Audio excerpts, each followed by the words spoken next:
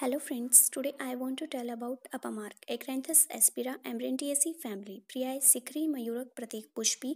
लचीरा चिरचटा स्वरूप शुभ पत्र गोलाकार अंडाकार फल पुष्पदंड पर ही कांटेदार उल्टे फल होते हैं जिन्हें अपामार्क तंडुल कहते हैं स्थान संपूर्ण